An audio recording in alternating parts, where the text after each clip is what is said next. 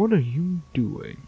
Hmm? You're still playing on a Nintendo. Don't you know it's only 8-bit?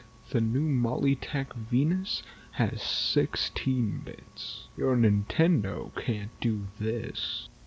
I